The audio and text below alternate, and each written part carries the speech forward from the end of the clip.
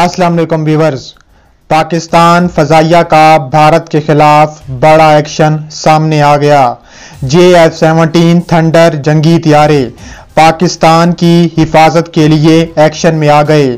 پاکستان نے بارڈر پر J F seventeen جنگی تیارے، تعینات کر دیے۔ آج کی ویڈیو میں اسی ٹاپک پر بات کریں گے۔ ویڈیو شروع کرنے سے پہلے آپ سے گزارش ہے کہ ہماری ویڈیو کو لائک کر دیں، چینل کو سبسکرائب کر کے بیل آئیکن پر کلک کر دیں۔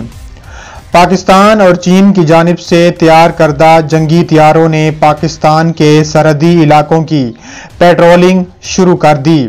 جے ایف سیونٹین تھنڈر جنگی تیارے پاکستان کی حفاظت کے لیے ایکشن میں آ گئے ہیں۔ پاکستان اور چین کی جانب سے تیار کردہ جنگی تیاروں نے پاکستان کے سرحدی علاقوں کی پیٹرولنگ شروع کر دی۔ تفصیلات کے مطابق بھارت کی جانب سے جنگ کی دھمکیاں دیے جانے کے بعد پاکستان فضائیہ ہائی الرٹ ہو گئی ہے۔ پاکستان فضائیہ نے پاکستان کی سرحدوں کی حفاظت کے لیے پہلی مرتبہ جے ایف سیونٹین تھنڈر جنگی تیارے میدان میں اتار دیے ہیں۔ پاکستان اور چین کی جانب سے تیار کردہ جنگی تیاروں نے پاکستان کے سرحدی علاقوں کی پیٹرولنگ شروع کر دی۔ خاص کر لاہور کے محاذ پر جے ایف سیونٹین، تھنڈر جنگی تیارے مسلسل پیٹرولنگ کر رہے ہیں۔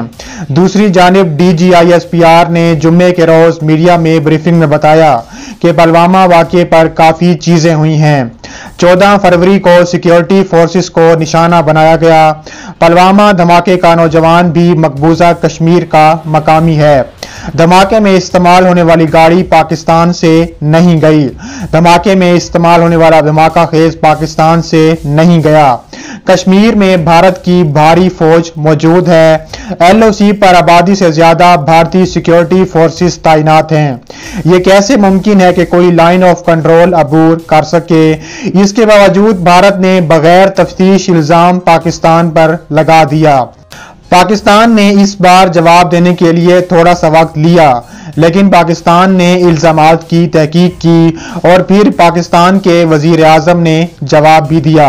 انہوں نے کہا ہے کہ پاکستان کی چونسٹھ فیصد آبادی جوانوں پر مشتمل ہے۔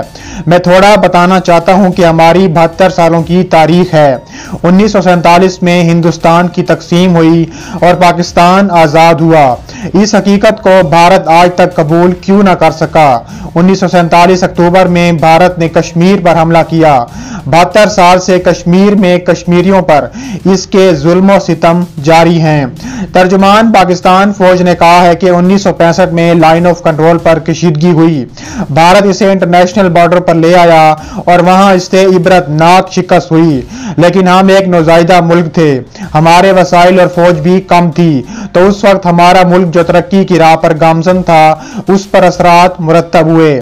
انہوں نے کہا ہے کہ انیس سو اکتر میں مشرقی پاکستان سے جو ہمارا زمینی فاصلہ تھا اور جو وہاں کے مسائل تھے، اسے بھارت نے استعمال کیا۔ مکتی بانی کا کردار آپ کے سامنے ہے۔ ترجمان پاک فوج نے کہا ہے کہ اصل دہشت گردی بھارت نے تب کی جب مکتی بانی کے ذریعے وہاں پر حالات خراب کروائے گئے۔ لیکن اس ثانیہ سے ہم سنبھلے۔ انہوں نے کہا ہے کہ انیس سو اکتر سے لے کر انیس سو چوراسی تک ایسا عرصہ تھا جس میں ہماری مشرقی سرحد پر کسی قسم کا کوئی واقعہ نہیں ہوا۔ ترجمان پاک فوج نے کہا ہے کہ اسی دوران افغانستان میں سوویت یونین نے حملہ کیا، جس کے بعد انیس سو اٹھانوے میں ہم نے دفاع کے لیے جوہری طاقت حاصل کر لی۔